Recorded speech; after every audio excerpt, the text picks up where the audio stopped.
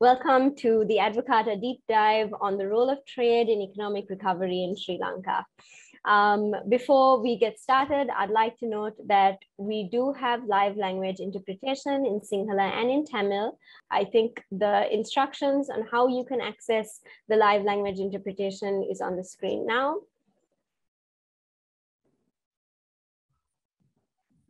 Could we also have it shown in Tamil? Thank you. All right, so um, a few more comments before we officially kick off today's discussion.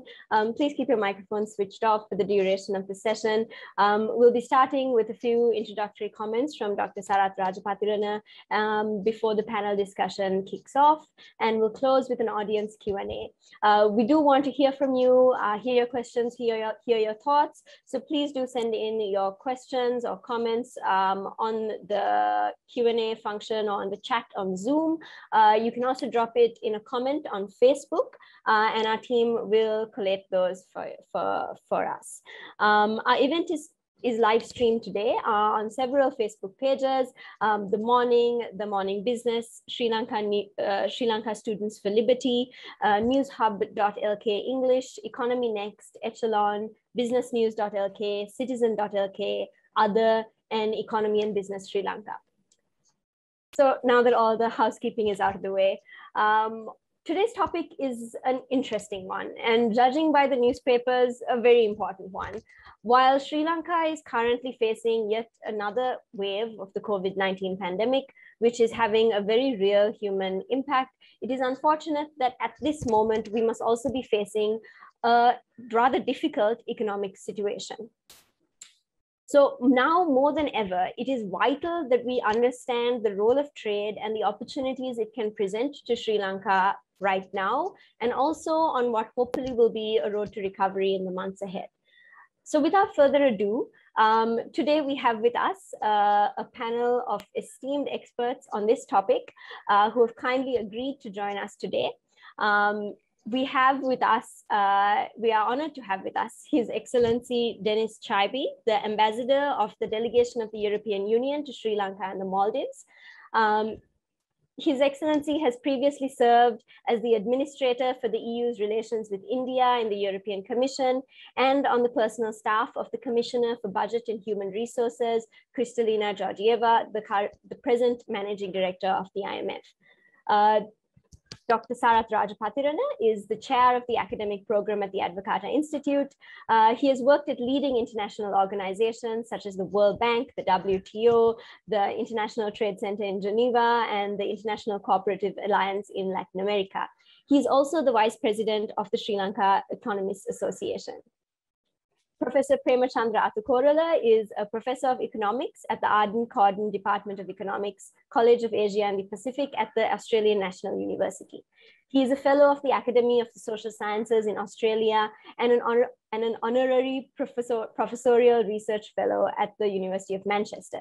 He is also an advisor to the Advocata Institute.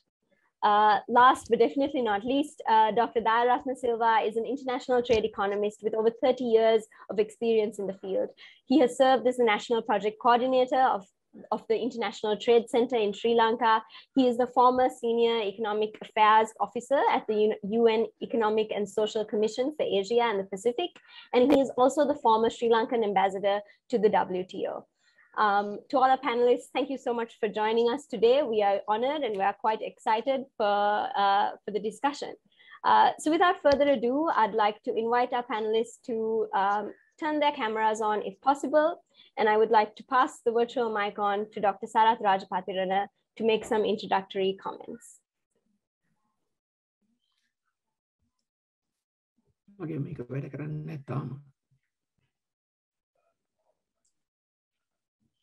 Am I am I on and I can't get the video start start video? Um, we can hear you, Dr. Yeah, now I can see. Right. Yeah. Okay. Great. So sh shall we start then, Aneetha? Sure. Let's go ahead. Yeah. Now, okay. Thank you very much, Aneetha, for uh, moderating this uh, discussion. Uh, so I thought we'll have a few more uh, uh, in the introduction, few more things about what we are going to talk about today. Uh, as Aneetha mentioned, this is a very important subject matter for us, for this country. That is the relationship between international trade and uh, economic development and growth of Sri Lanka. Uh, and uh, we see that trade will have a very important role to play, play uh, given that we have been, uh, before even COVID started, we were already on a downtrend. We could not maintain the very high uh, GDP growth rate we achieved in 2010 after the end of the uh, war with LTT. And although it was, I think, one of the highest recorded, then it fizzled off. And then in 2020, because of COVID, it went down to minus 3.6% uh, decline in GDP. And so we are now battling uh, the, the, we are, I think, taking some control of the, the pandemic. Uh, some 31% of our population now uh, vaccinated and still the, the important part of the getting economic, economic recovery is uh, uh, equally important. Uh, in, a way, uh, COVIDs and other uh, epidemics have a lifetime, you know, like being, but uh, if you have the economy neglected, that can last for even a longer time. So that's very important that we start uh, on uh, reforms that we have been, we have neglected frankly for the last, I would say, and people disagree with what I'm going to say, about 20 years. We have not made any substantial reforms to our economy, particularly on the trade side.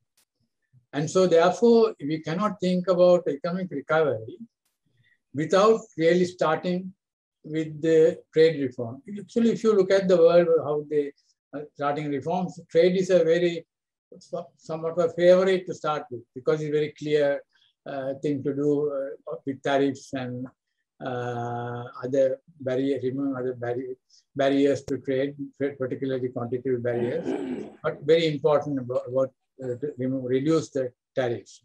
So we uh, we have in our uh, looking forward, we have to do uh, quite a, a, good job of starting our growth engine mostly by starting starting the uh, trade side uh, because trade side has, has a very important part of getting uh, exposing the country to competition and with that the other uh, areas like uh, what we are going to do with the fiscal side uh, about the budget and the monetary side about having a proper monetary policy that avoids inflation and that is able to uh, lead to contribute to more stable uh, exchange rate uh, uh outcome.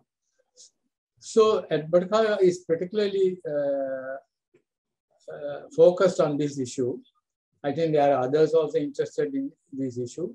We, we are particularly looking at today on the trade side. Already in our earlier work on the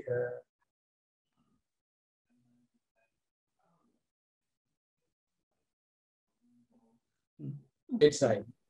Uh, and so this is really, if you like, bit of a it's a continuation, more focused on policy as such. What should we do going forward? That that is the issue we are going to uh, address. And so there are we are putting two things together. One is the uh, the economic the the dynamics of international uh, of growth, economic growth, and what uh, trade can do to uh, support it and to get it going. And before I sort of really launch into trade side, I'll say a little background on the growth side. As I said, we began to say uh, growth has sort of faltered, uh, went to minus 3.6. That's of course uh, mostly due to COVID. But our decline, uh, trade, uh, I mean, GDP growth rate began to decline before before COVID. So COVID only exacerbated the situation that was coming on. And when we can ask the question, why, why did it happen? Well, that, that happened because we didn't pay uh, enough attention to the incentive reforms in, in a very long time. We, we, as a country, did very well in the 1970s, particularly 77 onwards. then we had the war starting in 83.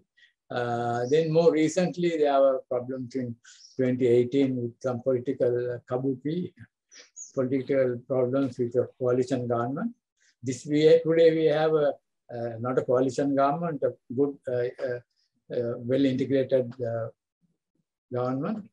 Um, and uh, they have they have a very more than two they have two third majority.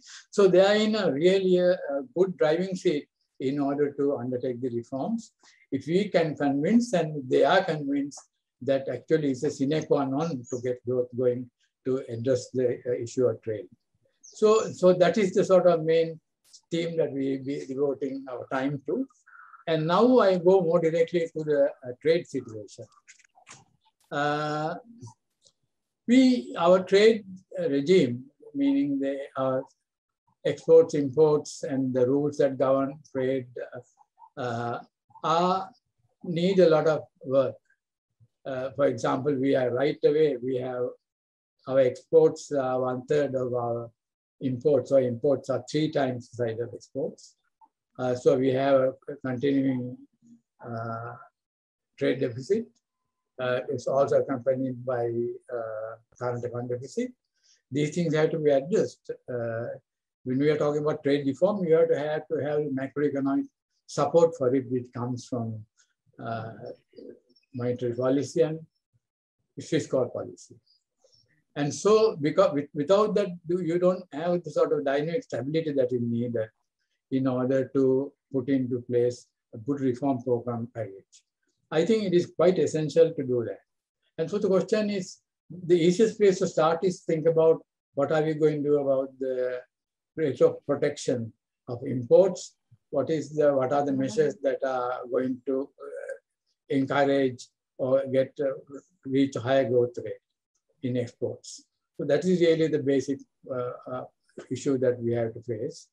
Mm-hmm. Uh, what is very interesting uh, here is that more than the sort of the aggregates of uh, imports and exports, is the inducement to, uh, is the sort of fillip for or encouragement to uh, uh productivity from having free open trade or non-restricted trade. Economic empirical evidence on Sri Lanka itself shows that it has a very uh, strong effect on the on uh, productivity and productivity itself is very importantly linked to the growth rate because if, for example, our growth were not based on productivity but on increasing, increasing capital and labor and other factors, land and all that, it will only sustain. It will, so it's a once and for all. So you, you need to keep on, uh, if you don't have strong uh, growth in productivity, you have to keep on increasing factors of production. It's very difficult because you have to have more saving, that means less consumption.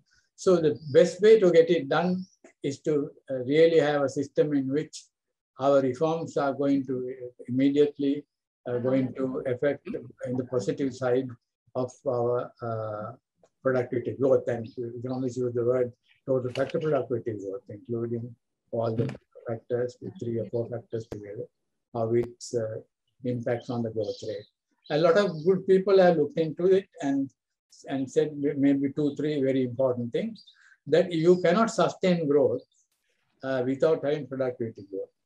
One. Two is that even if you have a high growth rate, as we saw in 2009, at the end of the thing, it won't be sustained because it's not based on, uh, uh, on productivity.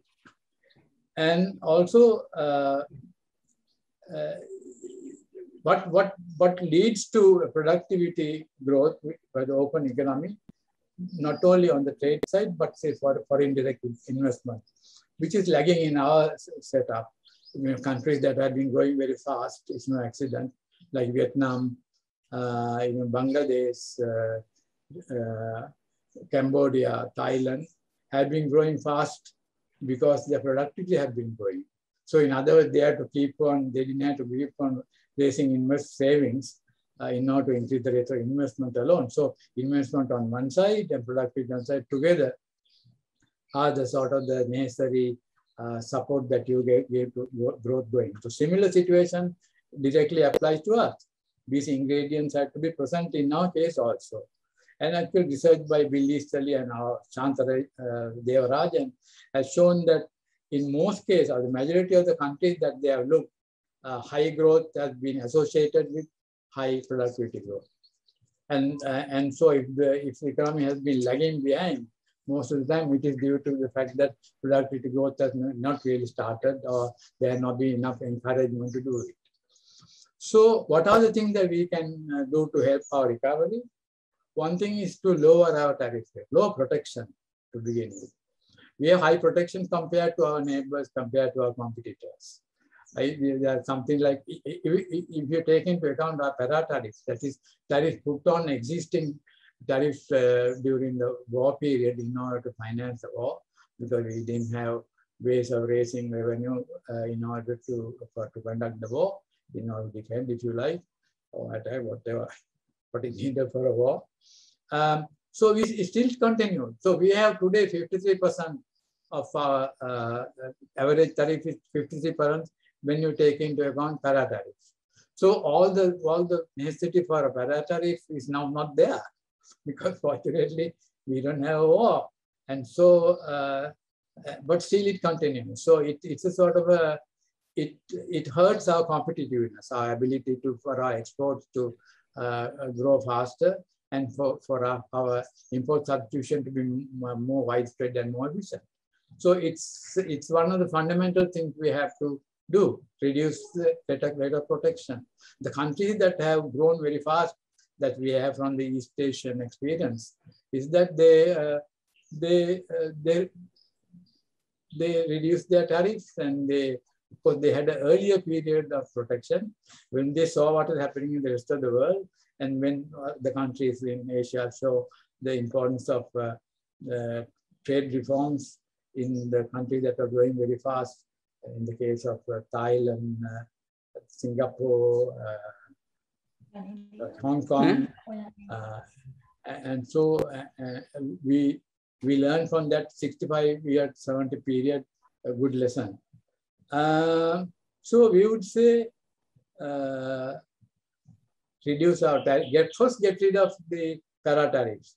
Actually, which is easy to do. It can be do by uh, by just uh, putting the regulation in, uh, get, get rid of it. Actually do it fast and so that you are sending a message also that we are serious. So don't, some people have argued, in, have been in such meetings where let's do over five years. No, five, if you are going to do it five years, you are, particularly in the case of para tariff, you are signaling that you are not, you know, you want to go slow. No, you have to really do uh, medium, you can get the message by very strong reform, very strong action uh, on, uh, on, on, on para tariffs. Then uh, very simple other things that uh, some people favor, and I am one of them, uh, a single uniform tariff. You know which country that been having very good successful single uniform tariff? The current Russia, 17% uniform tariffs. So the, it's very easy to administer such a system and there are no distortions in the tariff system. Uh, effective rates of protection are also pro uh, are in, uh, easy to predict in such a situation. So as a sort of a um, suggestion, it, is it possible that we could do uniform tariffs uh, and our tariffs might be lower than uh, uh, our competitors because we have been robbed of competition because we have ma maintained a high, high protectionist regime all this time. Although we were the second to do it after Chile. Chile did in 1974, did in 1977. Then as a so more housekeeping things, eliminate specific tariffs. You know, make, make it all based on value. It's easy to do, easy to administrate, administer it, and easy to see what is the, the results of it. And make tariffs the only form of protection because if you introduce quantitative restriction as we had in the past, then it's going to create problems. Because one of the big problems is that it can lead to a sort of a tariff regime that is very difficult to predict, uh, as is the work of Bhagwati and Hans Wiegersholz. Uh, there's a chaotic system of uh, uh, tariffs. If you, if, protection in such a regime. Uh, so it, it is not a bad idea. Uh, my suggestion is to have a, a uniform tariff and for 15%, which we can reduce over time uh, as our economy takes off, when COVID is ending and, uh, and the government commits itself to good reform program. We can, we can signaling not only our countrymen, but our creditors and would-be creditors that we are pretty serious of what we are going to do. And we are trying our best to get the growth rate going. And we need a growth rate, you know, back for the envelope calculation growth rate that uh, that is higher than the average rate of uh, interest that we pay on our debt. That's really simple uh, first year uh, math. So, uh, so that is my suggestion. We can later have a discussion on it as we proceed. And thank you very much, Aneetha. I'm uh, done. Thank you, Dr. Rajapatirana, for those for those introductory remarks. Uh, before we move on to the discussion, I'd like to let the audience know that the language interpreters are here um, and you if you want you can access uh, an interpretation of today's event in both Sinhala and Tamil instructions are in the chat box uh, this is available on Zoom um, so uh, Dr. Rajapatirana, thank you so much for that uh, very interesting start to our conversation today. Um, particularly, I was I would like to for us to maybe think to, to, to tackle the point that you spoke about where you highlighted the importance of us having lower protection and ideally having only tariffs as a form of protection. Um, if we are to see this kind of sustained growth uh, for Sri Lanka that, that the country is in quite dire need of. Um, if I could um, uh, if I could direct this question uh, to His Excellency the Ambassador, uh, because at this moment, uh, Sri Lanka's economy is in a rather precarious position. Uh, and how important is it that we retain our GSP plus position? Uh, we have lost it in the past. Uh, are we going to see a repeat of this? Um, and what, what are the consequences in light of the comments that Dr. Raj Rajapatirana has now shared? Thank you. Um, well, GSP was granted, GSP Plus was granted first in 2005, then withdrawn in 2010, and then reinstated in 2017, uh, but with some conditions. And among these conditions, there was uh, the commitment of the government to review uh, the Prevention of Terrorism Act.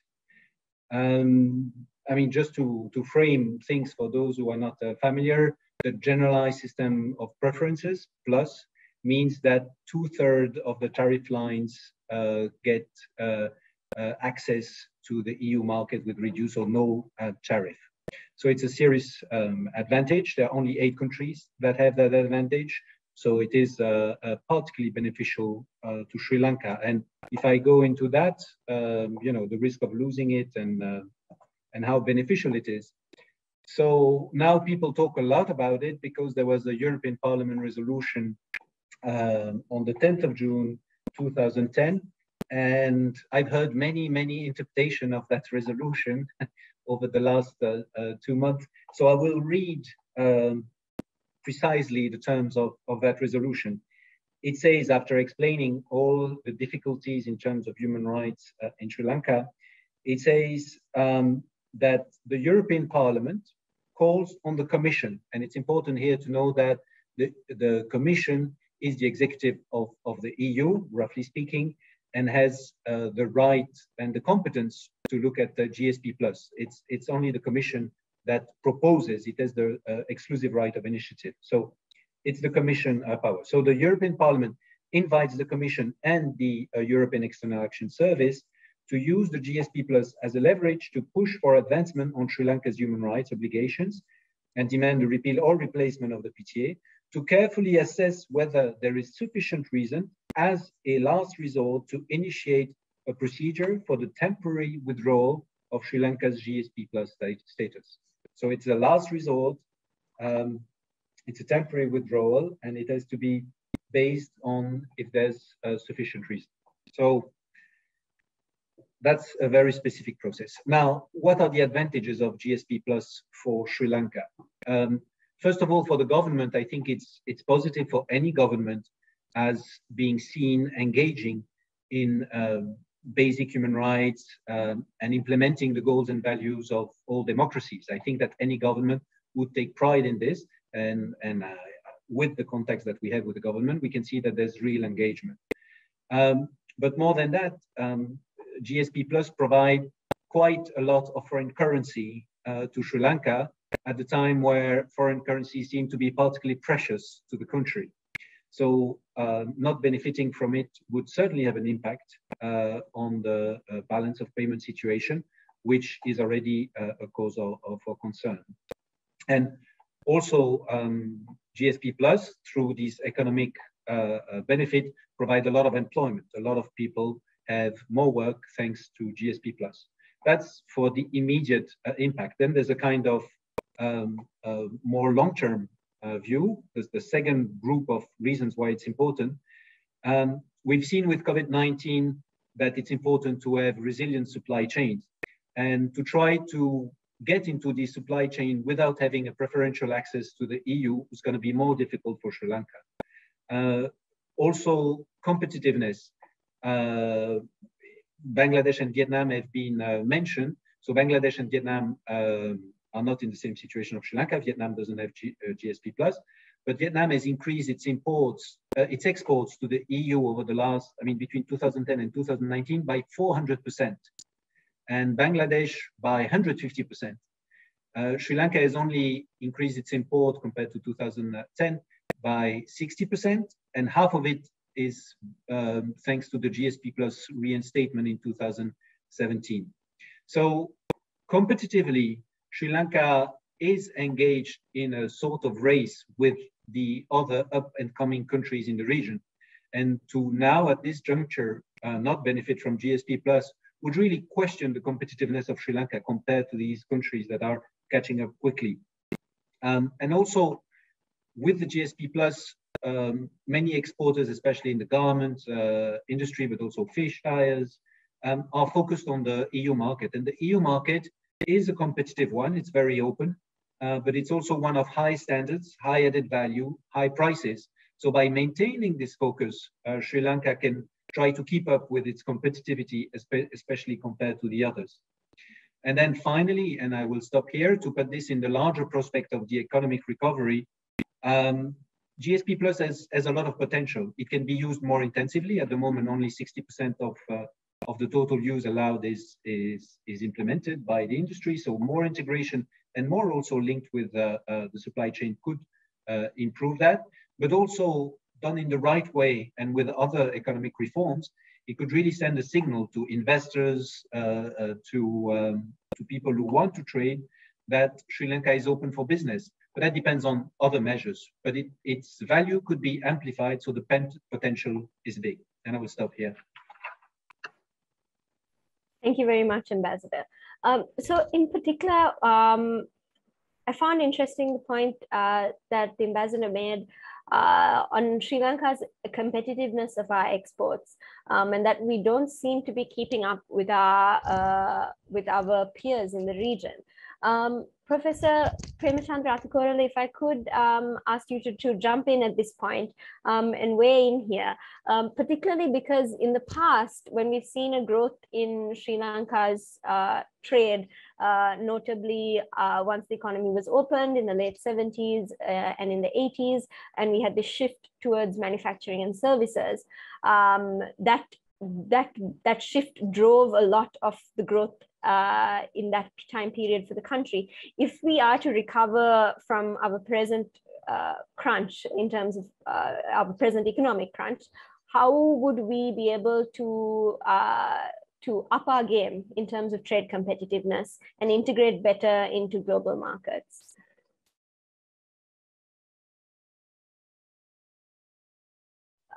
Professor Prema-Chandra Athukorala, are you, can you hear us? Yeah. Can you hear me? Yes, we yeah. can hear you. Uh, we can't I see you, but that's fine. You can you can continue. We'll, yeah, we'll... I I'll put no no I'll I'll yeah. Now you can see me. Yeah. Uh, Aneetha, uh, if it's okay with you, what I am going to do now is take about 10 to 12 minutes to make, uh, add to some of the key points uh, Dr. Raj Rajapatirana has made in order to provide the setting for the discussion. Oh, would it be fine with you? I mean, I will cover what you asked. And uh, in addition to that, I think we need a little bit structure for the uh, uh, discussion uh, to ask, get question from the audience and so on. Uh, let me begin by saying that if any sensible policymaker in newly developing countries in the region, in Vietnam, Cambodia, or our latest donor, uh, Bangladesh, listen to his speech, they would not raise any question. They will just uh, shake their, nod their head to say, agree with everything. Now, this debate about whether we should backtrack from open door policy, uh, I think it is unique to Sri Lankan uh, policy debate, right? Uh, what we he really hear in this debate, it uh, what we were taught at Peradeniya University in the early 70s. Now in other countries, the debate is virtually settled. If you want to achieve self-sustained growth, development, that means growth with poverty reduction, there is no other way than global economy integration. And uh, this view is accepted everywhere in this region, uh, perhaps other than in uh, uh North Korea, but, and Sri Lanka uh, is unique. I think we are talking about an old issue which has already been resolved in other countries. Now, I am going to structure my presentation uh, to focus on four themes relating to Dr. Rajapatirana's presentation. Firstly, I am going to make some opening remarks about the role of outward orientation in sustained economic development. Then I'm going to comment on what you, the central bank report called is novel economic policy. To me, it is novel, not novel. This is what uh, uh, our old policymakers preached uh, in the 70s. I'm going to discuss a little bit about this so-called novel economic policy. Then if time permits, if you don't cut me off, I want to tell little bit about the role of FTAs in our development strategy, whether it can play a useful role. And then I'm going to tell little bit about abuse of the term value-added trade, how it is inconsistent with uh, global economic integration in this uh, current global context. Let me begin with, you can uh, give me signal if I'm taking time, right? Firstly, what is the role of trade orientation in economic development? When you read Sri Lankan newspapers or listen to policymakers, they give a simple answer. We need exports to earn foreign exchange, right? The, the focus is on maintaining balance of payment position. But it's a very simplistic way of looking at the role of economic uh, integration or export orientation in economic development. Uh, we know that export orientation work as an engine of economic development. Uh, in addition to meeting balance of payment requirements, export contribute to economic dynamism in three ways. Uh, firstly, uh, in a developing country, our comparative advantage in international trade lies in relatively labor-intensive production processes, right? We trade it relatively developed countries, which are more capital and technology intensive. We are relatively more labor intensive. Therefore, export-oriented growth is the surefire way to reduce poverty, right? Uh, export orientation mold or change your production structure in line with your comparative advantage. It generates more employment. Labor is the only resource owned by the poor. Therefore, employment generation means injecting money to the poor. Therefore, no country in the world has achieved growth with equity, poverty reduction, on a sustainable basis without global economic integration. Look at China. When China started the reform process, 50% of people lived below the poverty line. Over the last three decades, poverty rate in China had declined to less than 1%, simply because uh, Deng Xiaoping opened up the coastal area to trade and foreign investment. Every year, 15 million workers moved from the countryside uh, to the urban labor-intensive production processes. That was the key to uh, poverty reduction in China. It happened in a small way in India. Indian reforms have been half-hearted, but still the poverty rate has been significantly reduced during the reform era 1991 after. Uh, I have been working on Vietnam. In Vietnam, there has been a dramatic reduction in poverty rate because of global economic integration through export-oriented growth. Then that is the first point, why export-oriented development is needed. Secondly, scale economies. Think about a tiny country aiming to achieve a 6% growth rate. Can you achieve that by focusing with the domestic market? It is impossible. Uh, to give you an example, uh, look at Mauritius. Mauritius of the prison for our political uh, prisoners during the colonial period, right? It's an island with 1.2 million population, but their per capita income is three times of our. Why that happened? They embraced export-led growth well before us in the early 70s. And because of the draconian protectionist policy, we miss this type of opportunity. Think about a company like MAS or Brandix employing more than 50,000 workers. Can you imagine a company like that emerging uh, with a domestic market oriented focus?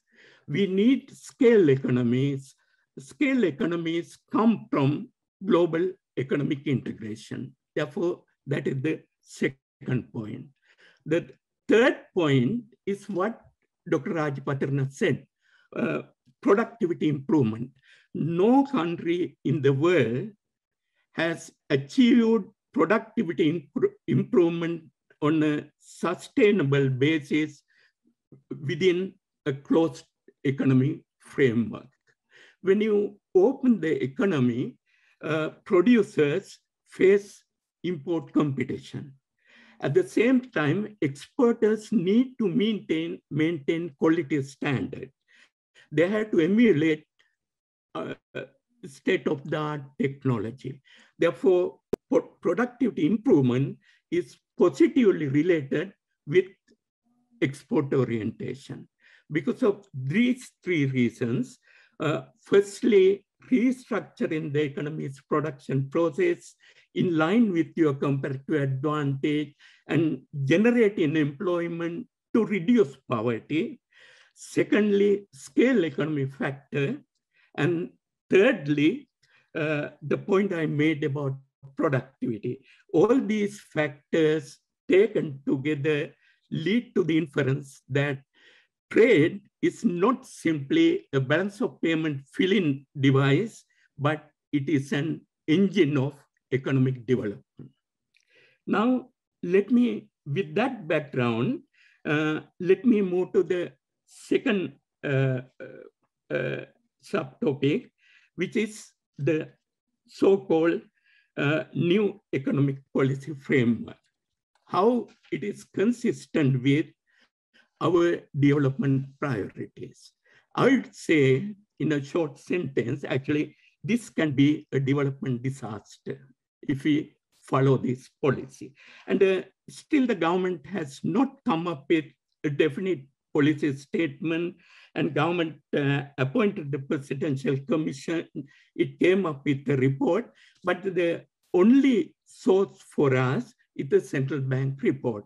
On page 20, there is about half a page about uh, economic development policy. To me, that half a page is full of slogans. There is no analysis to support the central bank policy prescriptions. Either our policy directions have to be guided by what is happening in other countries in the region, right?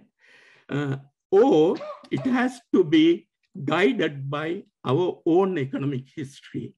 What have we achieved under limited economic opening?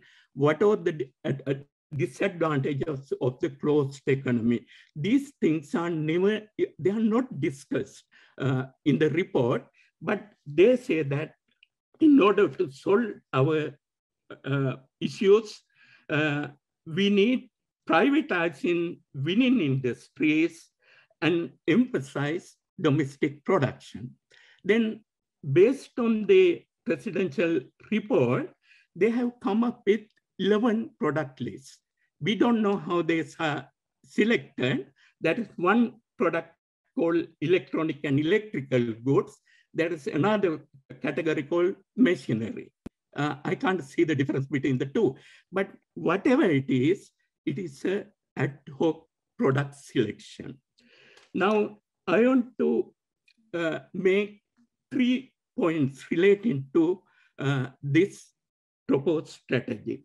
Firstly, the proposed strategy, the selection of the production mix is not consistent with what I call global production sharing, which has been the driving force behind economic globalization uh, over the last three to four decades.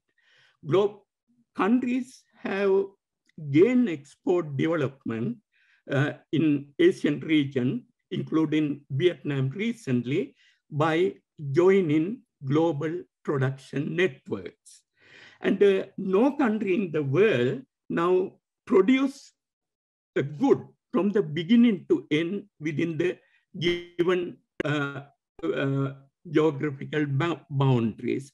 Countries specialize in different segments within the production value chain of given manufactured goods. Uh, in other words, the made in the made in the country X label has become invalid over the last three decades. Most of the products are made in the world, right? Country, a country has to identify comparative advantage within the production network. According to my estimate, this product list, 11 product list, actually central bank say there can be many more adding to this, right? In this product list, 85 to 90% are traded within global production networks. Countries specialize in part and components and final assembly.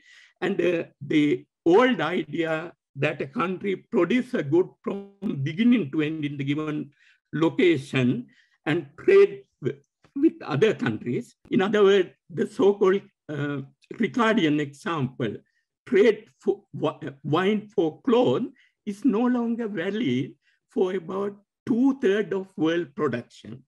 Now, world, central bank advocacy is entirely based on that outdated concept of countries specializing in goods from beginning to end. These type of goods are disappearing, right? And uh, actually, when you look at our export experience over the last 40 years, there have been some dynamic uh, industries within global value chain emerging. Uh, there are companies producing car component, right? There are uh, at least 10 companies producing components for cars. And uh, there is a company in Kadawatha producing components for Airbus. I mean, these type of activities are not even mentioned in this report, right? That is my first comment about uh, this central bank or the government advocacy. It is out of line, uh, context with global changes in international production. Then second point is uh, selective intervention. Uh, it says that government has to pick up winning industries. And these are the winning industries they say. Of course, when you look at experiences of Korea or Taiwan, we can identify few cases of government intervention doing very well, success cases. But at the same time, we can identify hundreds and thousands of failed cases during the import substitution era. Even from Sri Lanka, we can pick up at least a uh, couple of hundred failed cases, right? Then one should not uh, generalize from few cases when we talk about national development policy. Now, uh, people like Ha-Joon Chang will be coming to address uh, central bank uh, in few weeks time. They identify some success cases and tell fairy tales. But when you analyze these cases, you can see that these successes have three inherent features. Firstly, the incentives given to these specific industries had been strictly time bound. In Korea or Taiwan, when they protect an industry, it would be for five years or three years, not beyond that. The second feature of this selective industrialization strategy is export performance requirement to, was strictly imposed on the beneficiary firm. Uh, in Korea and Taiwan, when the government give uh, protection, they say that within five year time, you have to become a dynamic exporter. Thirdly, selective intervention was introduced without disturbing the incentive structure in the country. Competitiveness of export production was preserved while protecting these industries. Actually, I have a quotation from uh, uh, Park Chung-hee, but I don't have time to show it. I will show it later. Park Chung-hee even maintained a prison, right? It was called Siudado Mum, uh, next to his uh, palace. Actually, once he introduced incentives, if exporters do not meet this incentive requirement, he framed cases and put them in jail. I mean, can you do these type of things in tiny Sri Lanka with a fragile political system, right? And uh, when you the central bank report advocate selective intervention without while ignoring the fact that these special cases highlighted by Ha-Joon Chang, Amsden, and others had very unique features relating to their governance structure. In this country, can you do that? That is uh, my question. Thirdly, if you want to uh, give incentives, you had to select industries in a very careful way. Now, here the list include everything other than ready-made garment, which is the most successful case. It is missing in the list. And then say, we protect these 31 big industries and there can be many more. And this is a recipe for disaster. Every manufacturer is not now going to ask for protection, right? Uh, protection is for grab for them, right? Uh, when the list is not limited.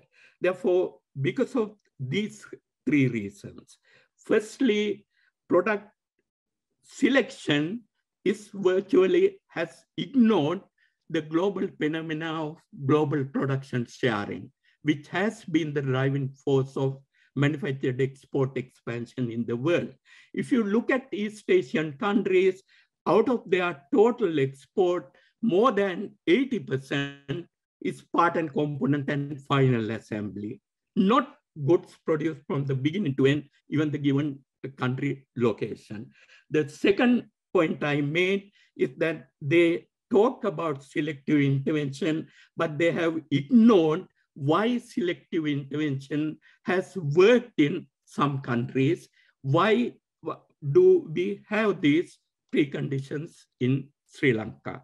Thirdly, when you come up with a vastly vast list and say that we are going to give incentives, it is it opens up a market for uh, I mean the demand for protection. Protection is grabbed for bargaining uh, by the protectionist lobby. Therefore, when you take all this uh, point into account, uh, in a nutshell, this policy U-turn is going to be a uh, recipe for disaster. Then I think I have taken a lot of time. The next two points I want to highlight is firstly, the FTA debate, whether FTAs can help export expansion, uh, then the value added myth. Uh, I'll leave it uh, for discussion later. Thank, Thank you very much. Uh, thank you very much, Professor Athukorala. Um, that was a very, very interesting insight and explanation into how where trade is moving and what Sri Lanka has been doing or not doing rather when it comes to trade policy, among many other things. Um, Dr. Dayaratne, if I could uh, ask you to jump in here, because now we have heard um, from Dr. Rajapatirana, from um, the ambassador, from Professor Athukorala, and the sort of uh, a few a few themes seem to be common uh, in in in the in the insights that have come out.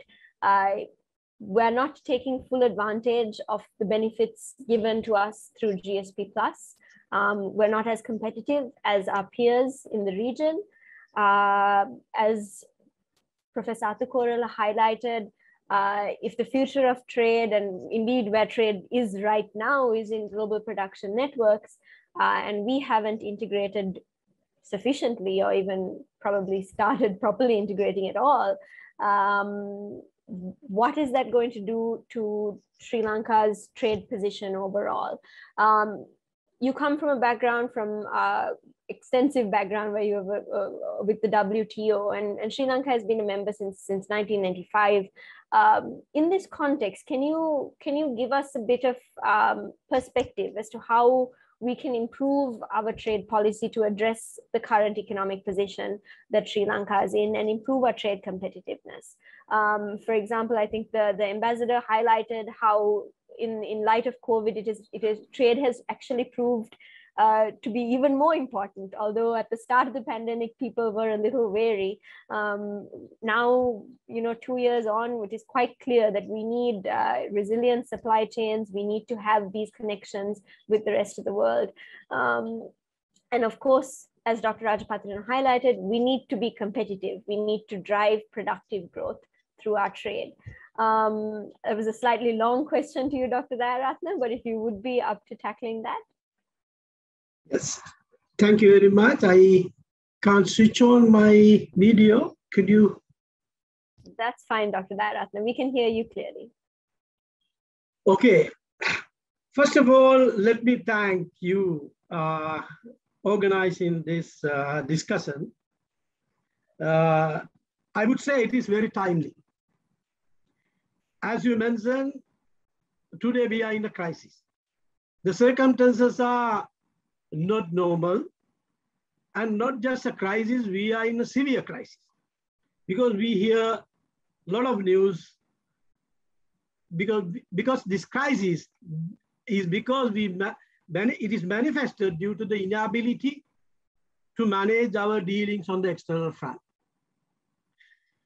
So in that context, you ask the right question, what is the role of the trade policy to get out of this?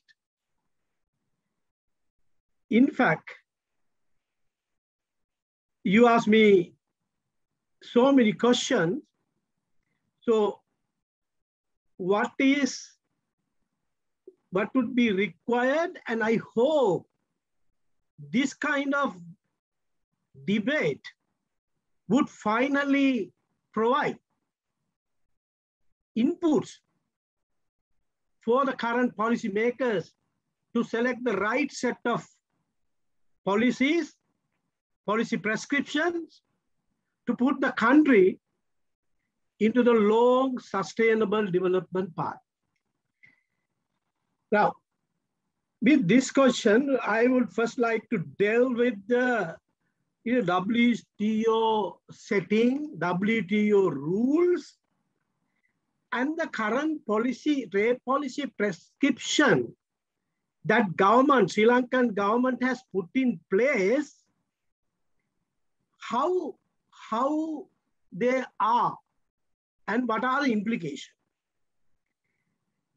Now, as announced by the government, Aneetha, you know, the with the onset of the first wave of the COVID, you know, government introduced exceptionally broad import controls, starting from the blanket import ban. This, what they say is, is a trade policy, is necessary to reduce import and ease pressure on the exchange rate and overall.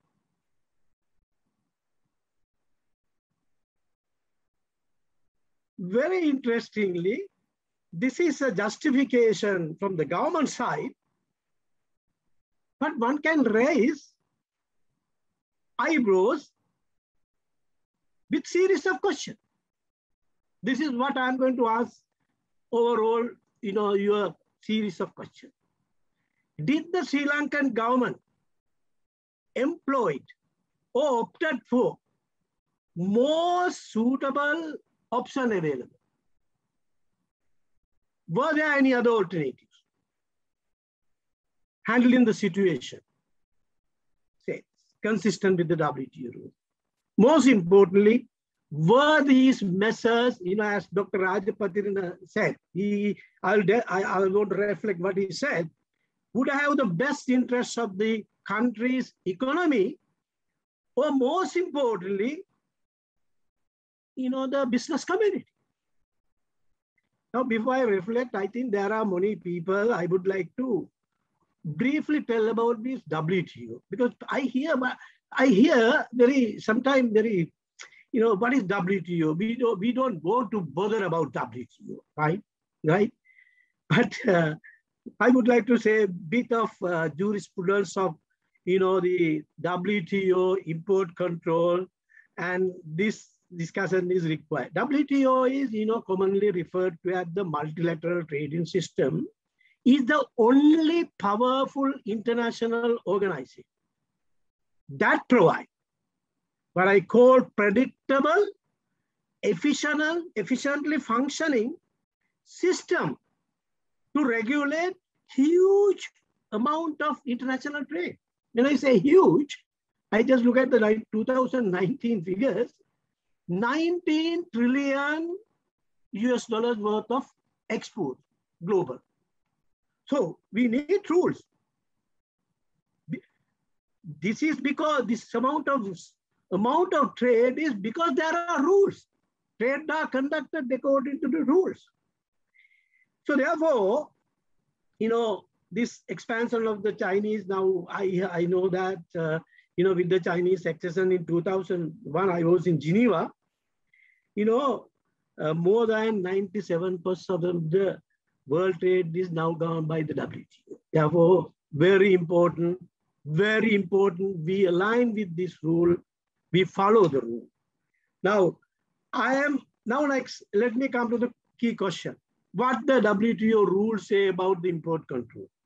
You know, um, you know, WTO rules, you know, there is a particular provision, Article 11.1 or whatever, very clear on that.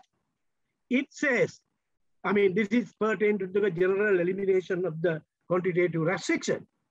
You know, their, you know, prescription is very precise and very comprehensive. You know, this rule has been further elaborated you know, what do you call the WTO panels and the case law.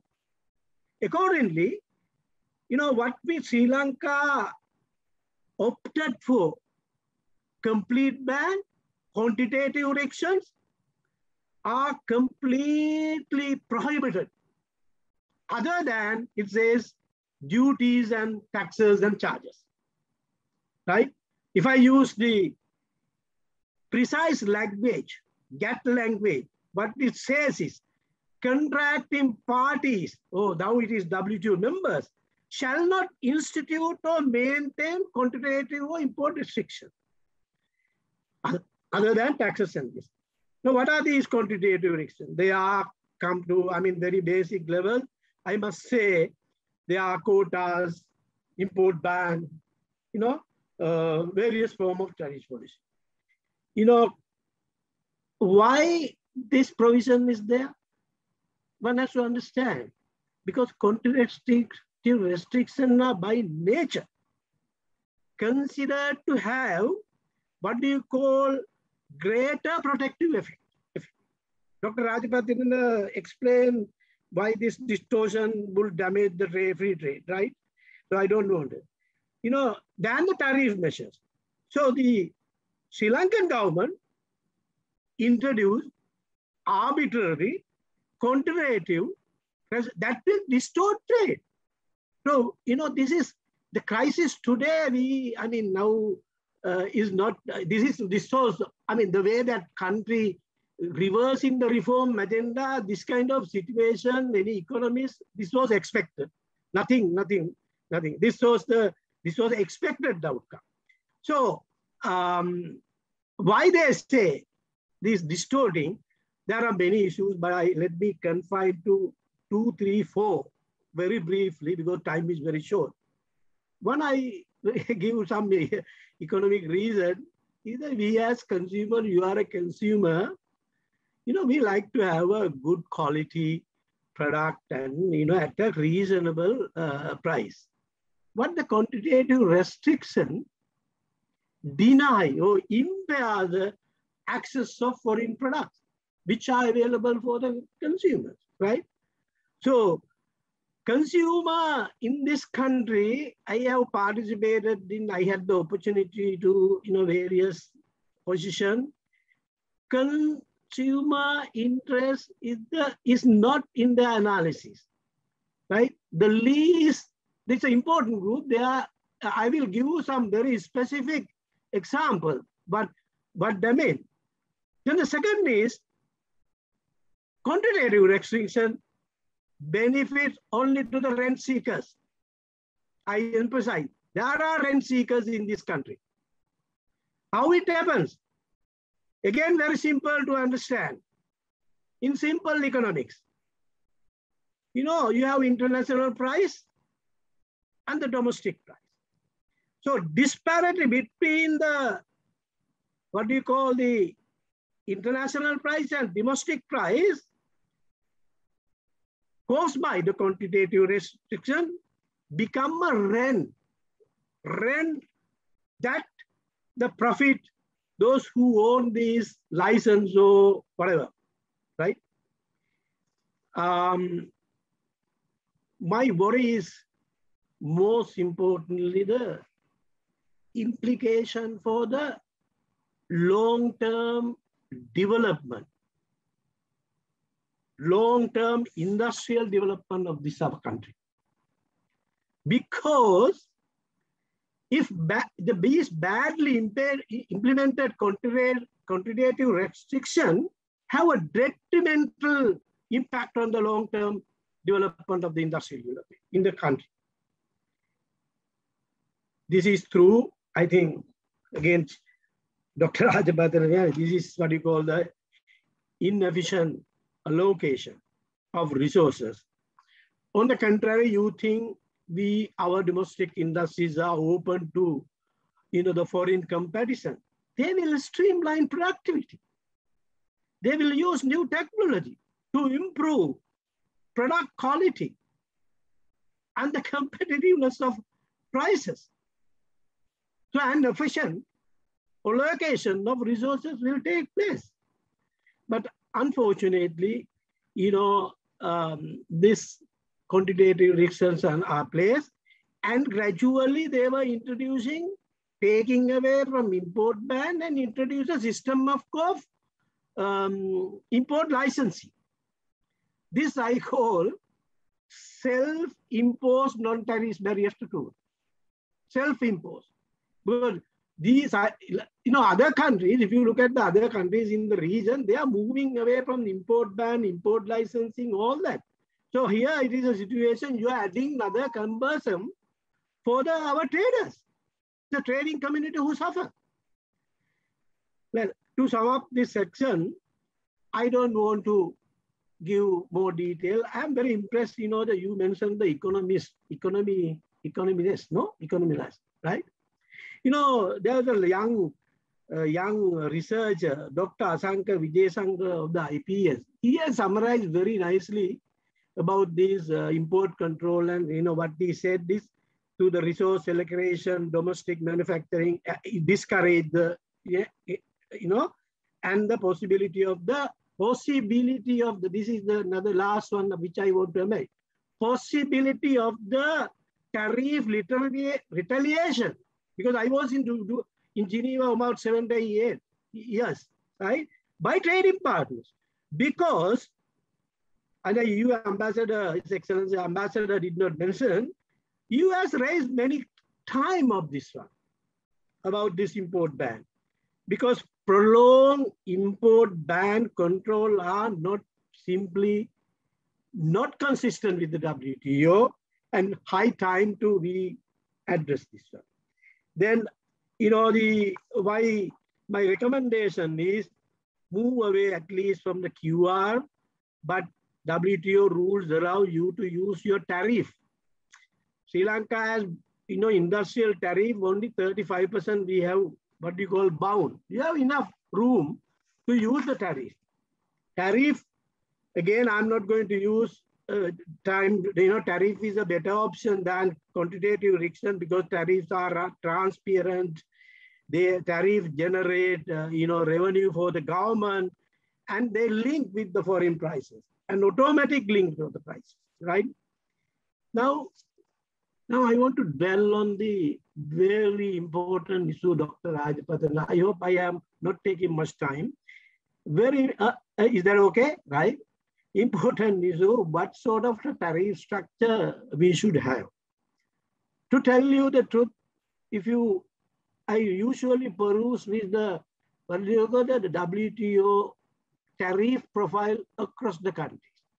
If you just peruse it, right? Sri Lanka has the very complicated tariff structure. What I call, what many economists call two-tier tariff structure. What he says, we have a first layer, what we call the custom duty, and all these countries have this layer.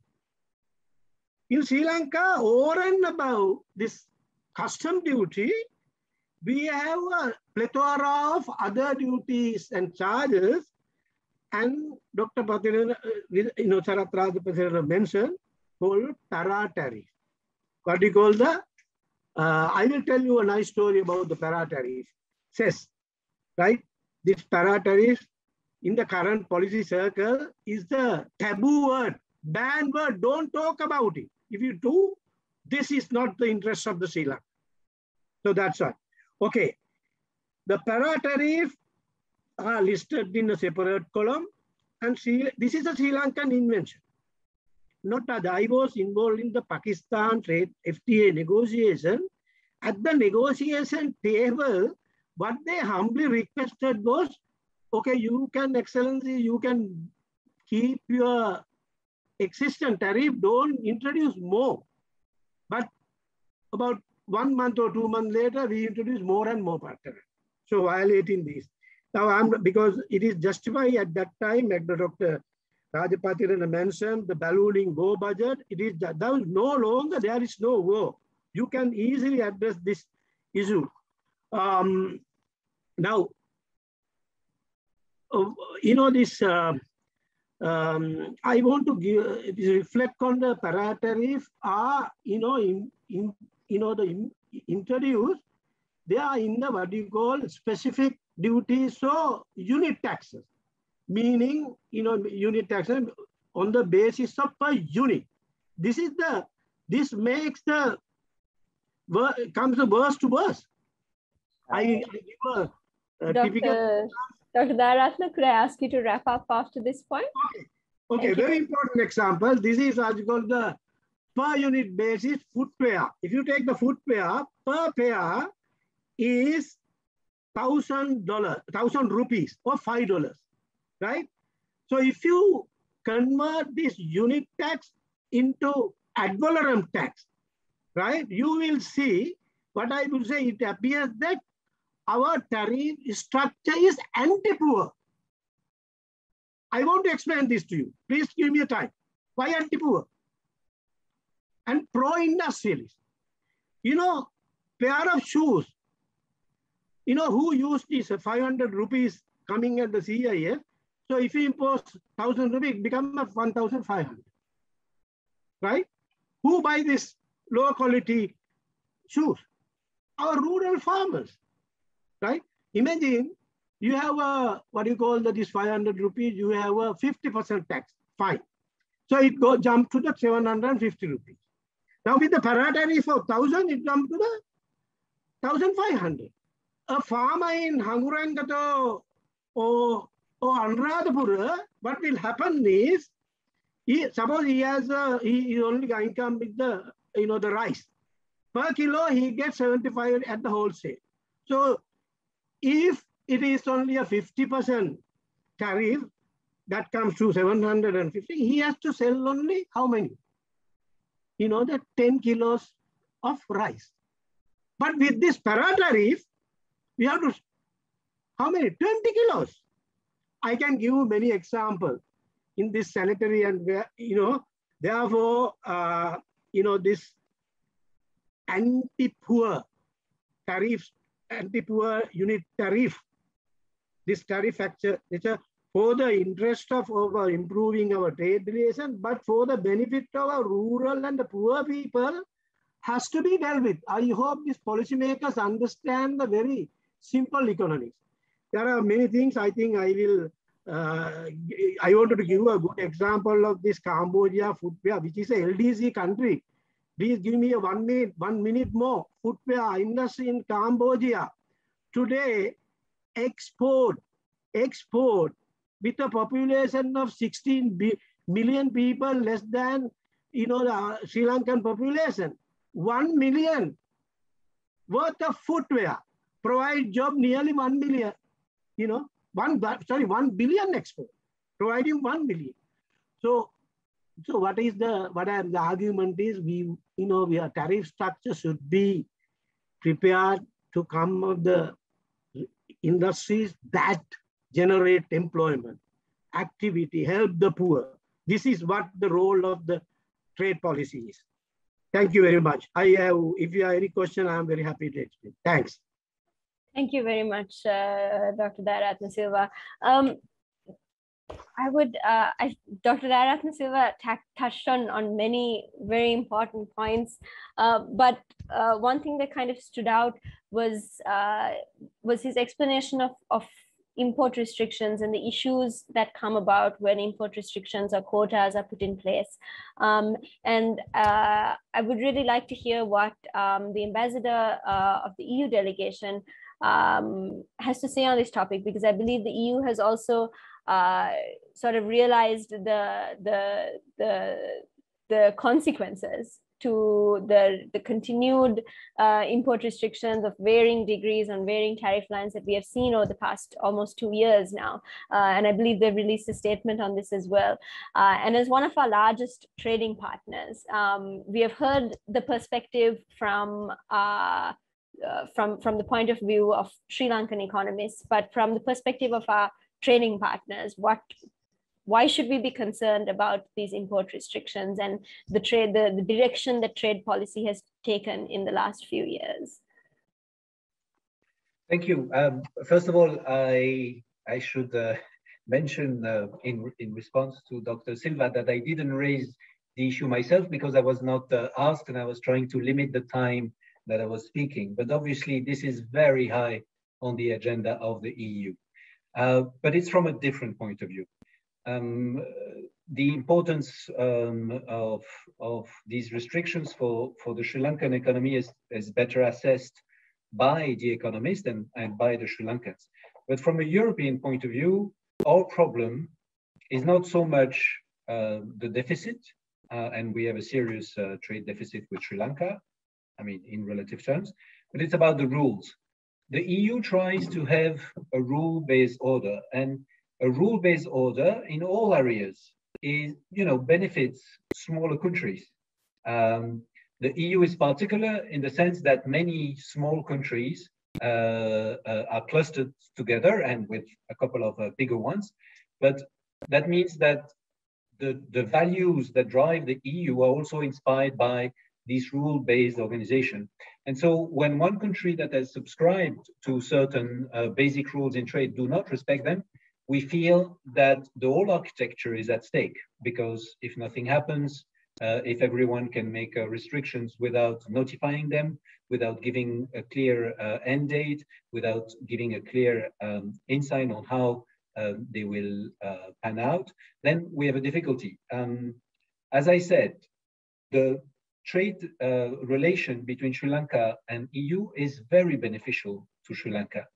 Uh, for the last 10 years, uh, Sri Lanka has had a surplus that is quite consequent for its economy, and the EU has never tried to change the situation. It's the economy at work, private sector at work. But now, with the import restrictions, the situation has changed in the sense that this, this year, 2020, was the lowest exports of EU to Sri Lanka in the last 10 years. So now we can see that the combination of COVID plus the import restrictions really um, puts us in a in an imbalance that is not right, and it's not right because it's not according to the rules. And if everyone can flout the rules, then it will be very difficult to to keep uh, uh, the trade flowing. And without trade for a, a medium-sized, small island uh, Indian Ocean, the prospects are not good. So we take it from a rule point of view, and it's very high on, on the agenda. I've raised it uh, several times. And if there are no more uh, uh, action uh, on this, we will have to, you know, further our coordination with like-minded partners in, in the WTO. Just as I said in, in other fora, we fully, fully understand the balance of payment issues. So if the measures uh, can be explained through that, fine, but they need to be explained, which means notification to WTO, rationale, and also how the situation will pan out and uh, will be uh, run down. So we need to have these details, otherwise we are not in respect with the rules. Thank you. Um, thank you very much, uh, Ambassador. Uh, I think we might just take one more question um, from, uh, just take one more point uh, with the panelists and then we'll open up uh, for audience questions. Um, Dr. Rajapatirana, if I could uh, ask you to weigh in here, uh, leading from what the ambassador also highlighted very interestingly, his point about uh, Sri Lanka's surplus with the EU and because this is a this is a point that comes out quite often in media and in discussions in Sri Lanka. This question of uh, we have a trade deficit. Uh, this is a problem. How do we narrow the trade deficit? Um, and and this has been that conversation has been quite closely tied to the point of okay we need to bring in uh, place these restrictions. We need to reduce our imports in order to drive our exports up and and uh, and and create uh, either a surplus in our trade surplus or to at least at the very least reduce our trade deficit. But could you could you explain to us a little bit more from economic perspective and in terms of the practical impact it has on Sri Lankans um, and whether this thinking is really quite in the right direction actually a single um, uh, country having a deficit with another country in the global system is not a very serious problem unless the single country is in dire states and, uh, and also signed agreements uh, to conduct uh, the, its affairs in line with the World Trade Organization rules and regulations. So I am a great respecter of uh, WTA rules because at the end of the day, it's like a public good that everybody benefits from it. It's like your traffic rules. You know, if you follow the, uh, driving on the left-hand side in Sri Lanka, that, that's a very important rule. If, if they don't follow it, there is much more accidents in the world, in the in this country. So similarly for trade, uh, the set of rules guarantees that trade to go uh, flow easily from one country to another. It is the basis of our growth. I mean, if you don't have that, then we are in real trouble. And but uh, some of the things that you see as trade problems are really macroeconomic problems. So we have to make a distinction between uh, rather than a single country, single deficit, whether we are conducting our uh, economic policies, trade policies in this case, uh, properly, uh, you know, keeping to the world rules in what uh, Professor Dr. Aratna explained. So I uh, I don't worry so much, and maybe I'm, I am not doing justice to it. What single deficit to single country, but I would say I would worry about the larger question of import of substitution, substitution and um, that leads to great inefficiencies, domestic allocation of resources. And that, um, uh, that what you see in the balance of payments is a, is a manifestation of what has happened inside. That's oh. my contribution. Thank you very much, uh, Dr. Rajapatirana. Um, for our audience, I'd like to also highlight that we have a deep dive episode with Dr. Rajapatirana, which is a primer on international trade from theory to practice, um, the case of Sri Lanka. Um, so this, uh, this video is available on the Advocata website and on our Facebook. You can also find it on all our social media. And I would highly recommend uh, that if you found this discussion interesting, to go ahead uh, and give that a watch. Um, as Dr. Rajapatirana lays out the basics um, of trade for uh, in, in, a quite understandable uh, but yet nuanced way.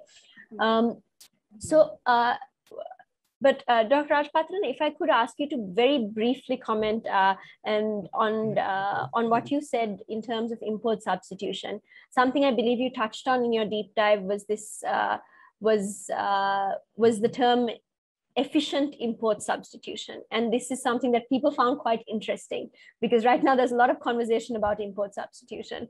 But could you uh, uh, very briefly, if possible, uh, give a give a give an explanation as to what efficient import substitution would look like?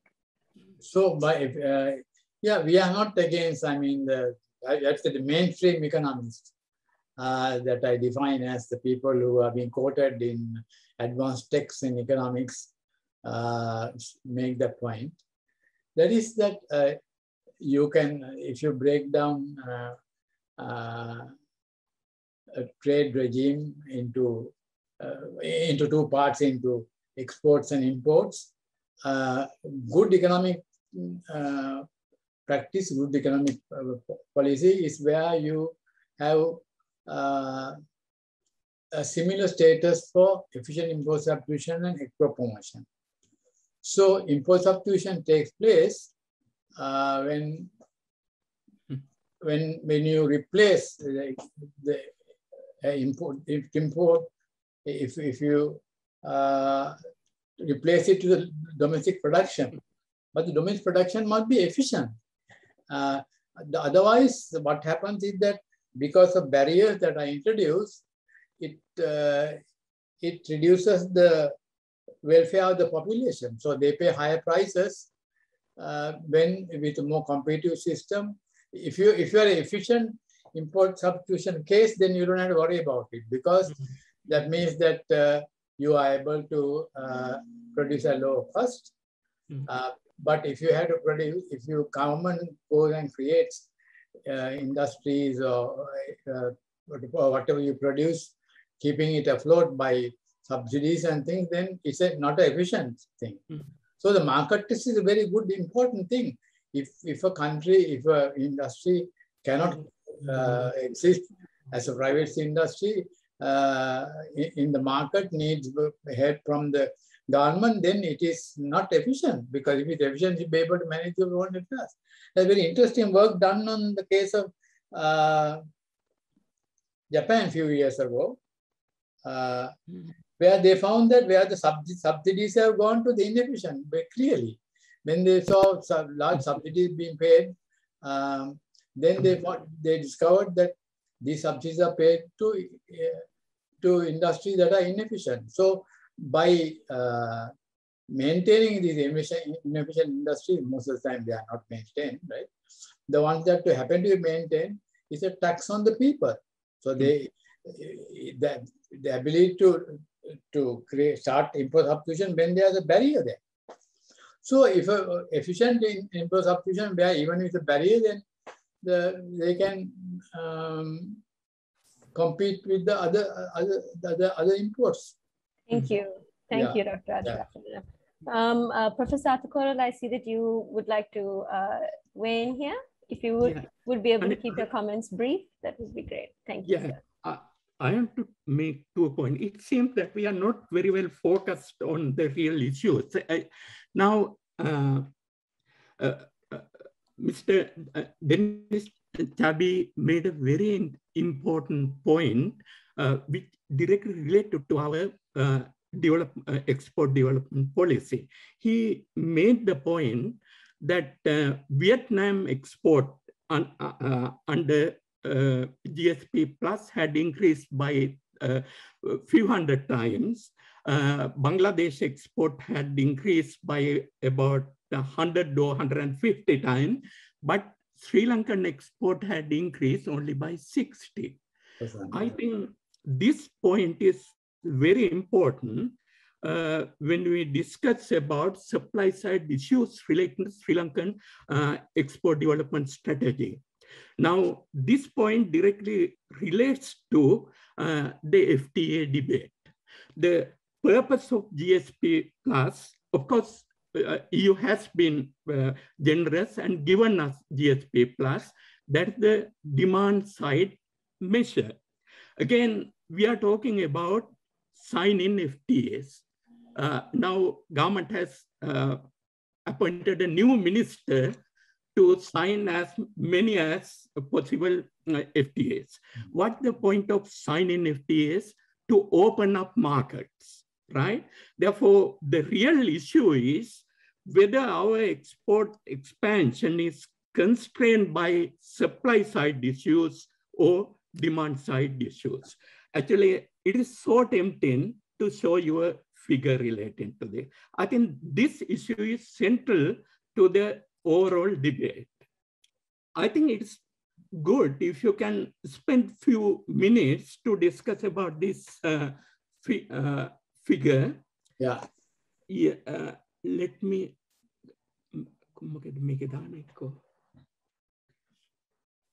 Can you see it? Yeah, yes, Professor. We can very, see very clear. Now,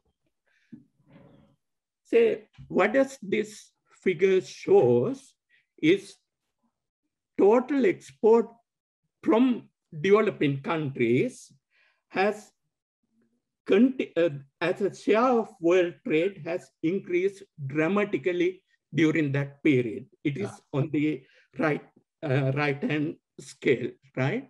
Now, say, look at what has happened. Sri Lanka's world market share. Sri Lankan world market share has plummeted from about 2000 throughout this period. What does this shows is that it is not opening more market what is important for Sri Lanka, but addressing the supply side issues, right? The uh, anti-export bias. This is a big issue. Now the government is promote introducing import restrictions, uh, trying to intervene in the foreign uh, exchange rate determination. All these have resulted in shifting the incentive structure against export production. And uh, uh, it's becoming more and more profitable to sell in the domestic market. At the same time, FDI is not coming to Sri Lanka because of the adverse investment climate. According to my calculations, between 2005 and 2009, 230 export-oriented firms left Sri Lanka, mainly because of uh, the policy regime was not favorable for attracting foreign direct investment to the country. Uh, there's a close relationship between export-oriented foreign direct investment and export expansion. And all these factors have led to a dramatic decline in Sri Lanka's share in world trade in a context where other countries' export shares in the world trade had increased dramatically. What does this shows, uh, and again, what uh, uh, uh Mr. Denis Chaibi data shows is that existing market opportunities are not exploited by our exporters. I think we need to focus on this issue. Now, the, uh, that's one point I want to make. The second point uh, I want to make relating to the point uh, uh Dr. Rajapatha mentioned about uh, import substitution and export orientation. Now, according to central bank report, the government believe that both can be done uh, side by side.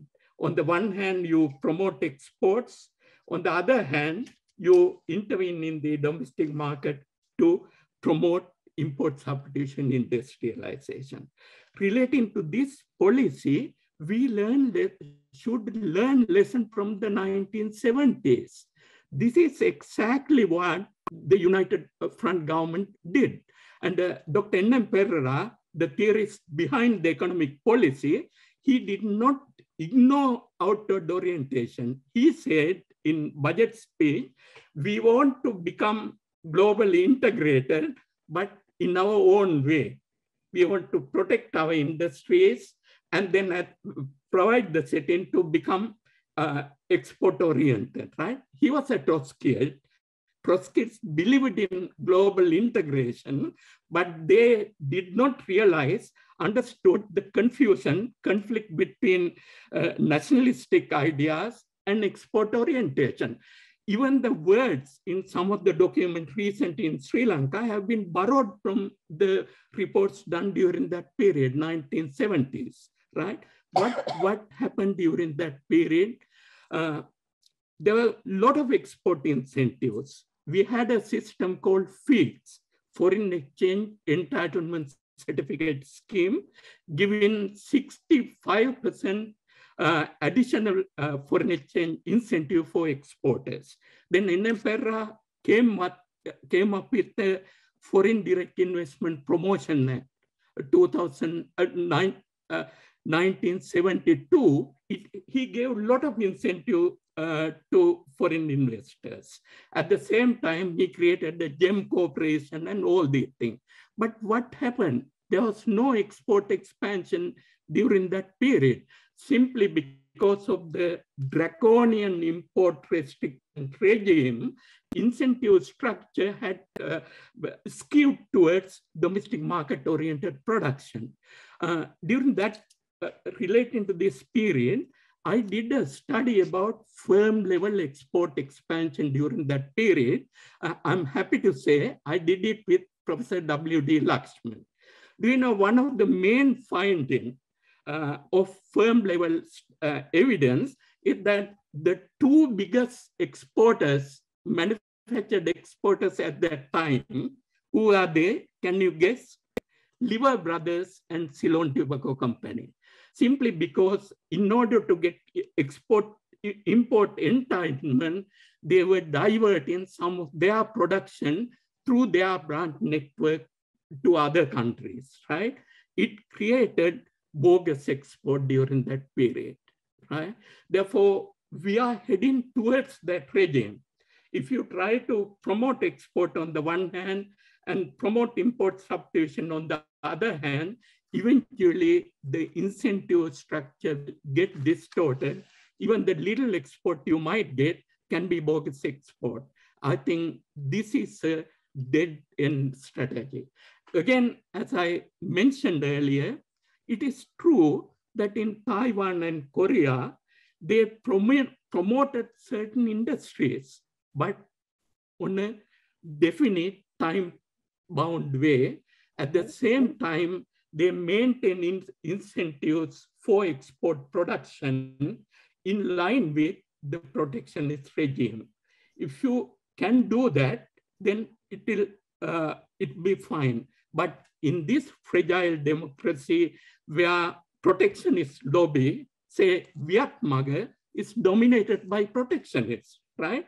They are the ones who advocate policies.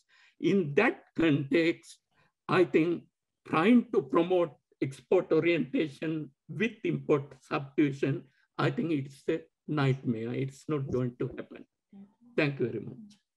Thank you, Professor Athukorala. Uh, Dr. Rajapatirana, did you want to uh, comment that? Yeah, yeah, no, into, sorry.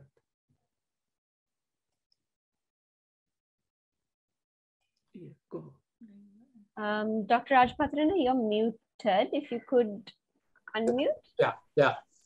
Great. Thank so you. this whole idea of export promotion by having one group of people who have very little connection uh, to people who actually do exports, uh, are making various forecasts will increase it by 20%, 30%, utterly backward situation, and also commodity by commodity. Uh, that's the first thing. My second point is this, that the interesting thing that we found in East Asia is this. Not only did the government did, uh, do what uh, Professor Athukorala has mentioned, uh, is time-bound support, but in most cases, later, they allow the private sector to make their decisions and get into area.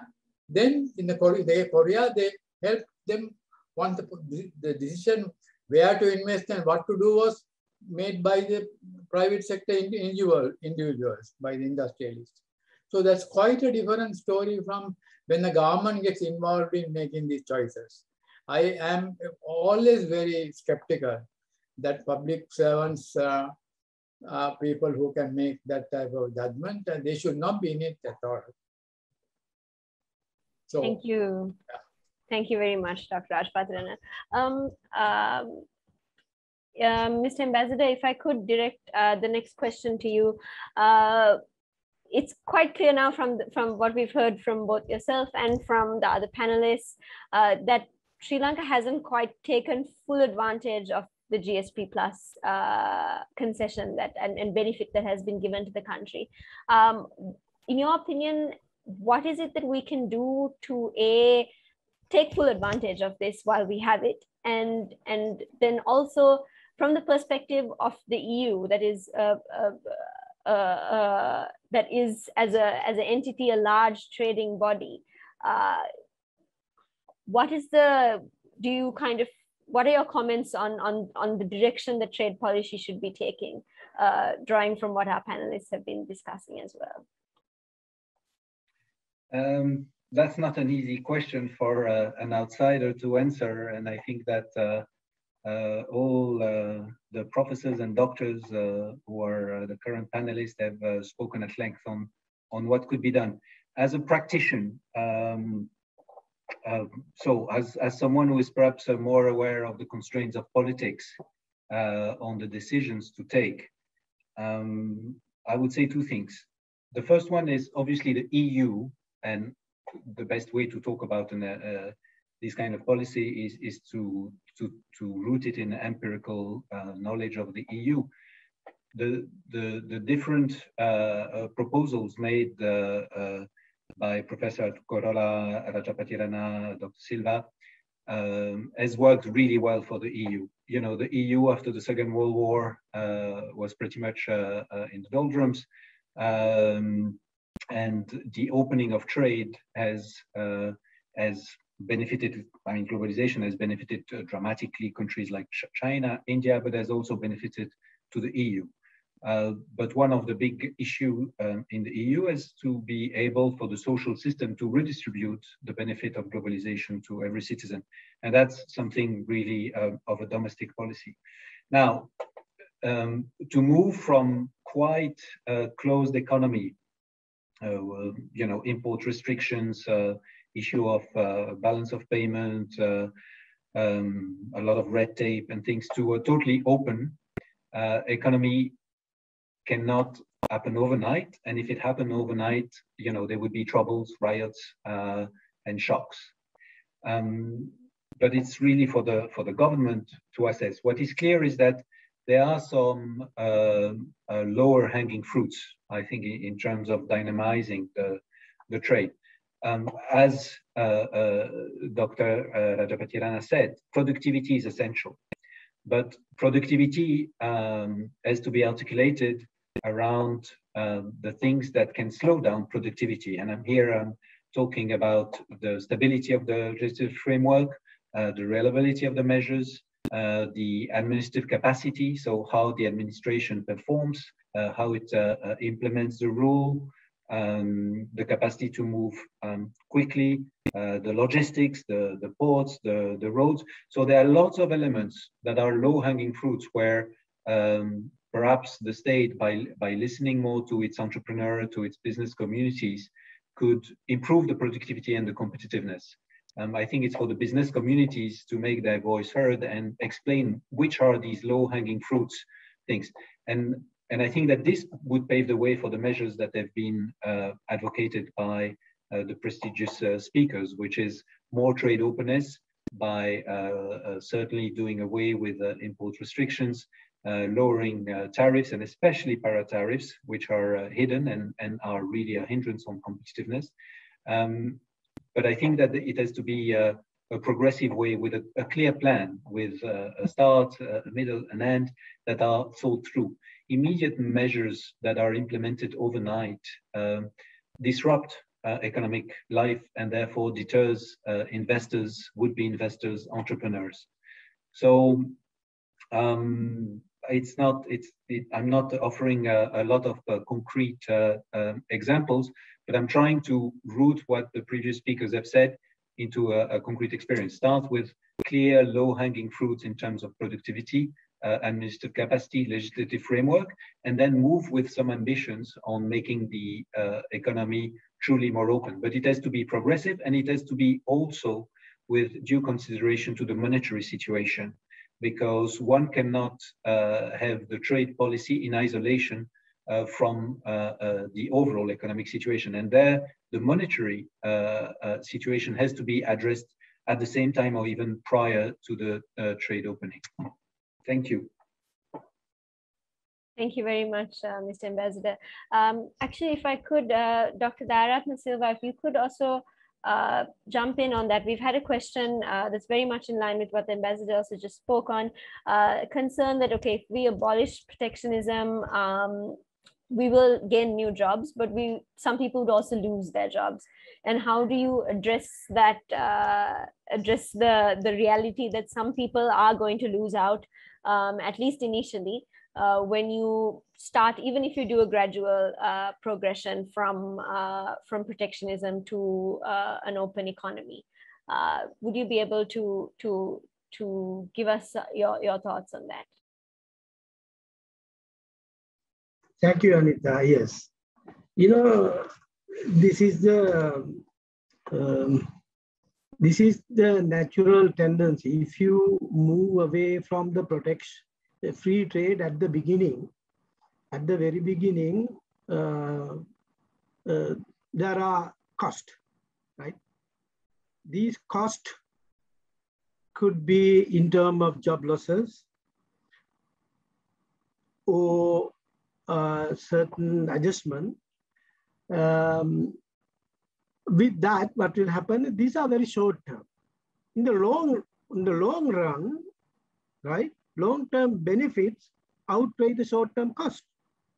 So we we know that it has happened in the East Asian countries, right? Now, socialist country like uh, Vietnam, right? I, I was in Geneva when this uh, Geneva, you know, the they tried to what do you call this, uh, get in the WTO membership, 2007, right?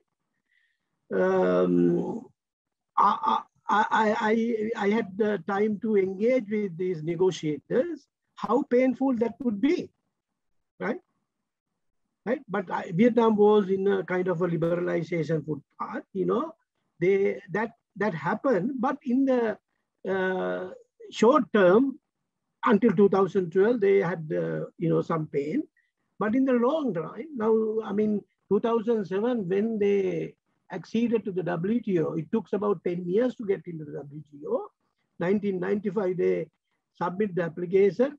To that time the exports earning were hardly 6 billion US dollars. And 2007 about um, 50 billion. Now they gone to uh, 280 billion. So you must have a, what I say is a long-term vision for your trade policy, right? Without a long-term policy, uh, but uh, you know that won't work. So there are cost gain, but long-term benefits outweigh the short-term losses. This is my um, on the GSP plus. If you you know what is the main problem is, you know the Sri Lanka. Um, you know, the, the it is again the supply side uh, capacity constraint. 66% of the, you know, the EU tariff lines, you know, you know, it's a unilateral concession, right? Sri Lanka enjoy uh, duty-free access, right? We lost the GSP plus 2001. Had we continued that, you know, you know, the lost years, seven years, we would have been in a better, better position the unfortunately, but also there is the issue of these rules of origin, rules of origin. Now, Bangladesh was mentioned. Bangladesh, of course, mainly uh, I have mentioned in the recent GSP Plus seminar, is a, is a, what they are uh, required to fulfill is what you call the single transformation uh, of rules of origin. But Sri Lanka, a country like a double trunk, which is very stringent, right? And the utilization of the GSP plus is recorded as the lowest in the apparel industry. It is not something to do with the awareness. Apparel sector is the most vibrant. They know what the concession, where, where the preferential access are. It's the rules of origin. Well, that's a brief reflection. Yeah, well, I want to say something. Of course, Dr. Hmm? Can I? Yeah, go ahead. Uh, go, go ahead, Dr. Rajapatirana. Yeah, you know, um, reforms delayed also means be benefits are delayed. So when Sri Lanka liberalized in 1977, it was done without, there was some preparation. I know that preparation was there. But you know, if you have a plan and if you tell the public, the agent, economic agents, your program of first is to get rid of uh, uh, tariff, the next thing, next stage is to go stages by reducing. Gives them fair warning to people who will operate in an open economy. Okay, people are waiting for the opportunity. So it is true that we cannot do it all of a sudden. We have some preparation in 1977. And what happened, it worked very well till uh, some, some why our liberalization did not fully take give all the benefits is that because at the same time we started Mahaweli. so excuse me. So Mahaweli became a real uh, thing that changed the incentives, created what uh, later Professor Corden and them called the Dutch disease problem arose because of the inflow of capital from Mahaweli. So while we were trying to improve our tradable sectors with the proper exchange rate policy and all that, on the other hand, the imports of large amount of foreign exchange led to going in the opposite direction. So I'm for, uh, I'm not saying you can do it in very short time, but we, it can be done within reasonable time so that the markets learn that the new opportunities are going to arise in the system.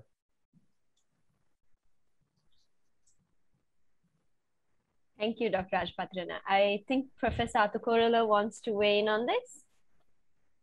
Yeah, uh, because this is a very important issue. I think somebody had asked whether when tariff is reduced, there can be employment losses, right? And then the, that is uh, uh, electorate always ask that issue. Therefore, I think we have to be very careful on this. Now, we need to give examples from our own past to highlight this point. Actually, when I first wrote my first article about Sri Lankan liberalization, I was basically lamenting about employment losses. Uh, you can have a look at it uh, in Upanati, first issue. I wrote an article about uh, uh 50,000 girls uh, losing jobs in handloom factories, right? And uh, look at what happened. The ready-made garment industry is creating more than half a million jobs. Initial loss, we exaggerated. but uh, eventually, it paid off. Apparel industry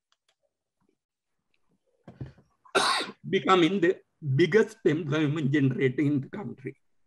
Now, according to data I have analyzed, manufacturing employment in 1975, that was the height of the state-led import substitution uh, industrialization was uh, 404,000, right? Now, manufacturing employment is more than 1.5 million. Uh, as Dr. Rajapatirana said, there were problems with li uh, liberalization, but liberalization worked to make the manufacturing sector a major employment generator. And again, look at the type of jobs. Most of the jobs created in the uh, government-owned factories were very expensive according to, again, I calculate this data from a study compiled by Professor Laxman and team, 51,000 rupees per one job. If you convert it into current prices, it would be about 3.5 million jobs. They creating one job in protectionist industries was very expensive. But uh, in labor intensive manufacturing, so many jobs were created, but at a low cost. Uh, this is the uh, message we should give to the voters about liberalization. Now, relating to that, when we talk about liberalization, we are not talking about reducing uh, trade barriers only. As Dr. Rajapatirana said, it has to be a package import liberalization has to be combined by, with a realistic exchange rate policy uh, in order to maintain export competitiveness. What happened in Sri Lanka is that economy was open, but exchange rate continued to appreciate. The real exchange index in 2019 is only about 1 16th of the real exchange rate index in 1978, right? We liberalized, but we did not stabilize the country. And the real exchange rate appreciated. Even with all these problems, why export-led uh, industrialization performed better in employment generation, uh, one should not forget this fact. Unlike in many other countries, our trade liberalization was combined with foreign investment liberalization. They went hand in hand, trade reform and FDI reform. Because of the FDI reform, foreign investors came. Martin Trust came to Sri Lanka as a foreign buyer and he created two giant export powerhouses, Brandix and uh, MAS, right? This thing happened mainly because of the investment liberalization. If you want, you can talk to Mahesh Amalean or Ashraf they will tell the story. We liberalize, we liberalize foreign investment regime together. It helped us to achieve a lot. But imagine without going into Mahaweli, telescoping it to six years, maintain uh, macroeconomic stability, we would have even avoided the civil war. I mean, I read this beautiful story in uh, Lee Kuan Yew biography. When Sri Lanka, uh, UNP won the election, they introduced liberalization reform. He was very happy because uh, Lee Kuan Yew has a big relationship with, with uh, Sri Lanka because his father worked for a Sri Lankan jeweler. In, uh, therefore, when the country was liberalized, he was happy. He gave half a day interview for uh, President Jayawardena, right? Then in the uh, discussion in the book, he says uh, President came and talked about uh, opening free trade zone uh, land areas like Singapore and everything. And uh, I was very happy. Then he said, President started talking about national airline. Then he asked the question, President, at this stage, should that be the priority? We develop an airport much later. You need to provide the in, infrastructure and maintain the incentive structure to promote export. Now, this is where the Reformist Party did not understand the point. I mean, uh, UNP did a fine job in opening the economy. Actually, the opening the economy was done not because of uh, World Bank advice, but because of policy recommendation made by an important Indian economist. Uh, uh, we are, uh, what Mm. Yeah, I, I have forgotten it. I mean, a lot of people who criticize World Bank don't know this story. Yeah, B.R. Shenoy, yeah. his report, which is in uh, JR library, both the policy blueprint for JR reform. Actually, he advocated trade liberalization with macroeconomic stabilization. Uh, government liberalized, but did not stabilize. That was the problem. Then now people blame the World Bank and IMF. Uh, World Bank, if you read World Bank report, uh, Sarath knows all this. World Bank objected to this massive investment uh, uh package at that time. But the government uh, said, no, we are going to get foreign aid. Therefore, we are going to implement it. And by doing that, incentive structure was distorted. Then the point I'm going to make is that liberalization would have done wonders in Sri Lanka if it were combined with macroeconomic reforms like uh, B.R. Shenoy advocated, right? But we did not do it. Yeah, that is the big lesson. Thank you. Thank, thank you very much, Professor Athukorala. I think we are now uh, very close to running out of time, but we have a few more questions that have come in from the audience. Um, if I could ask uh, that uh, the panelists keep their responses as brief as possible. Um, Dr. Rajapatirana, if I could ask you, uh, one of the questions that have come in is uh, uh, very rooted in in in, us, in the economic situation right now in Sri Lanka.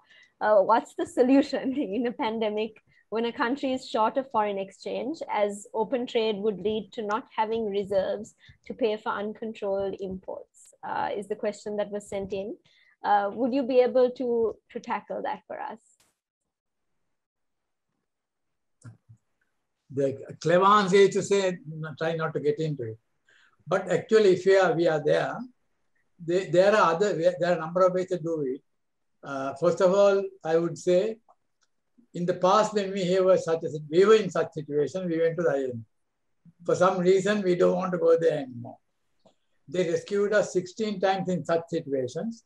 And now with huge amount of debt, which we did not have before, we are not prepared to go. Now the IMF is important not because of the money they give, much more importantly, the discipline it will put into our system. So if, for example, if we have a program, shall we say we have a program exactly like the IMF, that is uh, cutting demand, cutting demand down, uh, removing barriers to supply, uh, uh supply expansion, uh, have a, rate that is uh, competitive exchange rate, then we can go some other way. And also we can convince our debtors and our would-be debtors that we, we will be disciplined and we will do uh, a good job uh, in uh, uh, as, a, as a person, as a country that can repay its debt and which we have done so far, thanks to the IMF. So now some people say uh, IMF uh, programs have failed. Actually, it's not the IMF program that we, we failed. We never met the IMF uh, uh, criteria that was set for us in terms of domestic asset expansion and those things. So I would say we are in a very tight situation. In this situation, all economists that of my of that I know would say go to the IMF because they have to pay a larger premium price if we didn't, in the sense that then we'll have to cut down uh, imports even further. We, we, are our then the government's the policies uh, also won't help, like banning this, that, and the other. Uh, and so I would say we are in a difficult position, but it's not impossible position. We can, if you can get uh, IMF support, you can do it. The thing is that um, it is the low, least cost or low cost way of doing it. I won't say least, low cost way of doing it. Uh, if we are not prepared to do it, then we have to pay very high cost in terms of not having funds, not only having the discipline, not having funds. Uh, then we have to introduce various other controls from which we can't get out easily. That's the point. If you move away from taking advantage of the our location our position to be a participating in world trade, then our chances are all reduced. Uh, what we can go from bad to worse in those circumstances. Mm. So, um, so that is my go to the IMF, have a program, uh, uh, get get your uh, people together to develop a good team who can handle this, uh, who who has experience having done this, it can be done. So. Mm. Thank you. Yeah. yeah. Actually, it is so tempting to add one point to Dr. Rajapathan, what Dr. Rajapathan said. Agree with everything. And I want to give an example. Dr. N.M. Perera, even though his economic policies we criticize, he was a very intelligent, I mean, statement, right? Uh, in his budget speech in uh, 1970, I have this uh, uh, quotation, I, I don't have it. He clearly said that small open economy like Sri Lanka cannot ignore international organization. He went to IMF in 1964 as part of the coalition government, but he failed getting loans. Uh, uh, I have even uh, got his speech, right? he could not get it because at that time, uh, because of politics, they, they could not uh, come up with a sensible package to reduce government expenditure. Therefore, they could. Then he went to IMF in 1970. At that time, central bank has a, had a visionary governor, Herbert Tennekoon.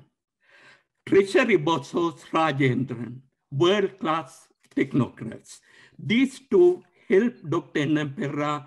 To come up with the proposal and the IMF was convinced. They, they convinced the IMF saying that uh, we will continue with our state-led industrial. At that time, actually, it was accepted by IMF, right? Import substitution and other thing. But they came up with a clear plan to reduce the budget speed, uh, deficit. Therefore, they got a loan Then what happened was in 2004, INM prepared another proposal. I mean, if you want, I can give you the document. Don't ask how I got all this. Uh, then what happened was by the time he was negotiating them, uh, he was, I think, lost his uh, cabinet post or something. It did not happen. Then the point I made is that if a real statement, I think he had do uh, he, he had deal it from LSE, right? He was a bright politician. He understood the importance of IMF. But people who run this country now, I think they don't know this history. Yeah, that's the point I want to Thank you. Thank Uh, you. Dr. Silva, if you would like to uh, comment on that, on the on on uh, uh, if you would like to comment on on uh, the points raised by Dr. Raj Patirana and uh, Professor Athukorala. You're, you're muted, sir, um, unless you are. Okay, that's Well, I, I, uh, I, I totally agree with what uh, Professor Athukorala said. Um, well, I also don't understand. Uh, are we waiting until the voter goes about the nose uh, to go to the seek support? I mean, uh, resolve this the current crisis. So it's totally agree. But there are a few questions that has been raised here in the, anyway, you can, if you want to ask, oh, I, do you want me to reflect on this? Um, is there something in particular you want to address, sir? If you can address it briefly, because we are running out of time. Questions here asking, one is asking, is there any possibility that uh, Sri Lanka face uh, WTO uh, sort of uh, dispute panel because of the Q quantitative restrictions? Sure, sir. If you would like to tackle just that question, since we are running out of time, uh, if you would like to tackle that There is briefly. one question. Yes, indeed. You know, now, um, you know, quantitative restriction, as I said, to answer the questions are prohibited, but there are exceptions. There are two exceptions under because the non-economic reason than the economic reason. Economic reasons are, uh, there are five, one mainly the BOP, you know, the BOP reason, right? But I recall in 1998, uh, Sri Lanka uh, disrevoke uh, employing this uh, uh, balance of payment, uh, you know, difficulty. But WTO members are very sensible. They sensitive to the this COVID situation. But the only question is, see, and, and, you know, this even you are applying the BOP provisions, right? Um, you need to follow the procedures. First and foremost, you have to notify to the WTO, right? And then you must, in, in notifying, uh, you have to set a timetable. Okay, but how they are going to kind of remove them and then engage in the consultation. I doubt, I doubt whether these procedures have been followed. Um, if not, well, we are in a club, you know, we have participated negotiation. It is possible that to happen. Finally, you know, one question is this uh, very quickly, why, you know, you know, acceded countries, some, you know, the later uh, have progressed very well. This is true. Cambodia, LDC to, in 2004, they acceded. They have progressed well because they, and Vietnam also. These countries uh, have progressed well because they were forced to undertake and Vietnam was forced to bind their 100% tariff and bind them at 35%. Uh, you know, so it's uh, uh, the reform agenda that has uh, they have undertaken as part of the WTO commitment resulted partly uh, in progressing um, well in the export front and the domestically. Thank you. Thank you. Thank you very much, uh, Dr. Silva. Uh, Professor Athukorala, if I could direct one last question to you uh, that has come from the audience. Uh, there is a lot of uh, debate and also a bit of confusion on the topic of industrial policy and whether it is a uh, what it is. In fact, I think that is something that needs to be clarified. And then what what what is it a solution for Sri Lanka? Um, and if you could very briefly comment on that, uh, it would be greatly appreciated.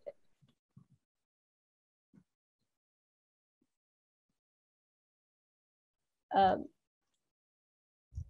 okay, I think maybe Professor Athukorala is facing some technical challenges. Um, I think we have now run uh, quite over time. Um, I would like to call uh, call on the ambassador, uh, H.E. Denis Chaibi, if he would like to make uh, any final comments. No, I just uh, would like to thank you and all the participants to this debate. I think uh, it was lively and um, allowed for a, a, good exchange. And uh, uh we we will work now uh, very much on the monitoring of the GSP Plus and and continue the conversation with the government about the import restrictions, uh, which are a concern for us. Thank you. Thank you very much. Um, so today's event has been live streamed uh, on the following pages. It's been available on the morning, the morning business, Sri Lanka Students for Liberty, newshub.lk English, Economy Next, Echelon, businessnews.lk, citizen.lk, other economy and business and economy and business Sri Lanka. Uh, I would like to thank our panelists for giving their time today, uh, quite a bit of their time, I must say, um, and for contributing to what was a very interesting and uh, engaging discussion on a topic that is very much current and of the utmost importance to Sri Lanka at this point. Um, I would also like to thank our interpreters who made it possible for this event to be accessible in all three languages on Zoom. Uh, thank you very much. That is much appreciated. Um, if you're interested in learning more on this topic, uh, the primer by Dr. Sarath Rajapatirana on international trade from theory to policy, Sri Lanka in perspective, uh, can be found on our Facebook, our YouTube, and all our social media. Um, do take some time to uh, check this out. And while you are there, Please follow us on our social media platforms. There will be a screen appearing uh, on, there will be a slide appearing on your screens in a minute. Uh, and stay updated on our events, on our publications, and of course, uh, our policy analysis on what is happening in Sri Lanka's economy. Um, I'd like to thank our audience today. Um, I hope everyone will stay safe and good night.